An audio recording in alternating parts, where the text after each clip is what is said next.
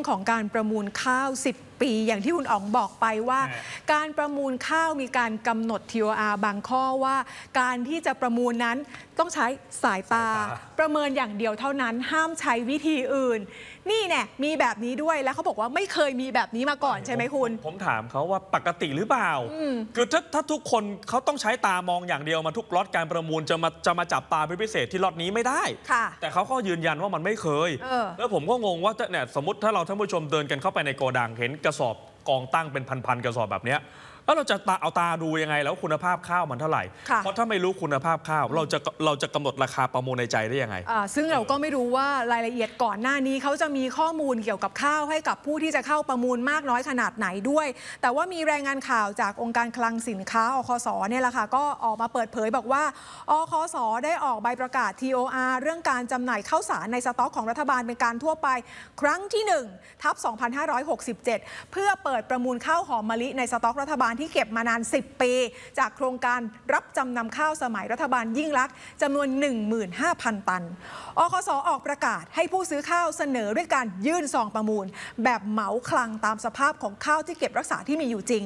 ซึ่งจะกำหนดวันยื่นซองเอกสารคุณสมบัติ ที่ห้องประชุมมโนปกรณ์นิติธาดาชั้น 12 ของกรมส่งเสริมการค้าระหว่างประเทศกระทรวงพาณิชย์ 10 มิถุนายนนี้ 9 โมงเช้าถึงเที่ยง แล้วจากนั้นอคสก็จะมีการตรวจสอบคุณสมบัติเบื้องต้นของผู้เสนอซื้อและจะประกาศรายชื่อ ผู้เสนอซื้อที่มีคุณสมบัติครบถ้วนต่อไป ขณะที่การเปิดซองเสนอซื้อนั้นจะดำเนินการนะคะที่ห้องประชุมมโนปกรณ์นิติธาดาห้องเดิมเลยนะคะ วันที่ 17 มิถุนายนตั้งแต่บ่ายโมงเป็นต้นไป ทีนี้เงื่อนไข TOR ข้อ 4.2 เนี่ยแหละค่ะ ออกมาระบุว่าให้ผู้ประมูลดูตัวอย่างข้าวทางกายภาพด้วยสายตา เพื่อประกอบการพิจารณาเสนอราคาซื้อข้าวในคลังสินค้าเท่านั้น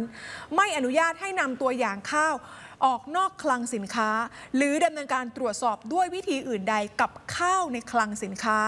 สำหรับการห้ามตรวจสอบคุณภาพข้าวด้วยวิธีอื่นนอกจากใช้สายตาแล้ว ก็เท่ากับเปิดทางให้ผู้เข้าร่วมประมูลนั้น ตรวจสอบคุณสมบัติข้าวที่จะร่วมประมูลว่า มีคุณภาพตามมาตรฐานสามารถบริโภคได้ตามที่กระทรวงพาณิชย์เคยประกอบ คือเคยประกาศก่อนหน้านี้หรือเปล่าด้วยนะคะ ก็ต้องบอกว่าข้าวที่จะนำมาประมูลก็มีข้าวของคังกิติชัยหลังสอง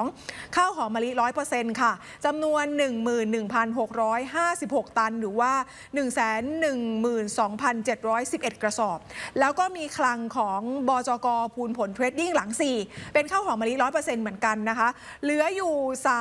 3,356 ตัน หรือว่าประมาณ 32,879 กระสอบคุณฮะอืมก็เนี่ยพอ จริง ๆ ใน TOR มันมันมันมีหลายข้อนะ อ่าอันนี้ main แต่4.2 มันเป็นประเด็นอยู่ที่ 4.2 นี่แหละ ที่ให้ดูข้าวด้วยสายตา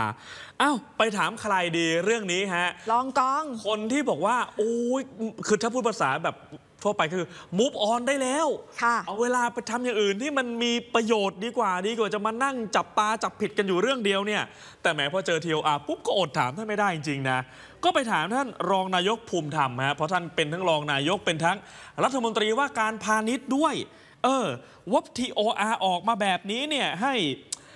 ดูตัวอย่างข้าวด้วยสายตาเนี่ยนะประกอบการพิจารณาเสนอซื้อข้าวในคลังก็ท่านก็บอกว่าไง ท่านรองกองก็บอกว่า ให้มาดูแล้วตัดสินใจ แต่ถ้าจะประมูลยังไง อันนี้เป็นเรื่องพูดกันได้ ถ้าเขาบอกว่าไม่ให้ดูก็ไม่ประมูลนี่ เดี๋ยวมันจะเป็นปัญหานะ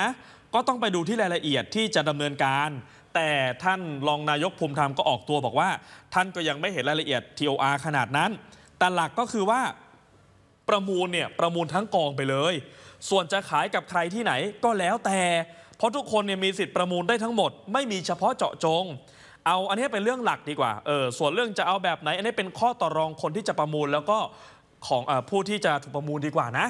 แต่ทีเนี้ยหลายคนก็บอกว่าไม่ได้อยู่ใน TOR ค่ะ แต่หลายคนผมเห็นเขาคุยกันในโลกออนไลน์ใครประมูลไม่ว่า ขออย่างเดียวได้ไหม เวลาจะขายช่วยแปะสติกเกอร์หน่อยว่า ข้าวล็อตนี้ได้มาจากการประมูลเวอร์ชั่น 10 ปี เออ แต่นี่เขาขายต่างประเทศหรือเปล่าอะก็นี่ก็เออก็ไม่ก็ท่านรองนายกบอกว่า ขายกับใครที่ไหนก็แล้วแต่ไงอ่าก็จริง ๆ ตอนแรกก็มีข่าวบอกจะส่งไปต่างประเทศค่ะอ่าเขาก็บอกกลัวจะไปเป็นปัญหาหรือเปล่า หรือถ้าเกิดจะขายในประเทศ แปะสติกเกอร์ให้หน่อยได้ไหม หรือถ้าจะไปทำแอลกอฮอล์น่ะล็อตนั้นก็ช่วยแปะที่ขวดกันหน่อยได้ไหมค่ะว่าอู้ล็อตนี้นี่หายากนะ ได้มาจากข้าว 10 ปี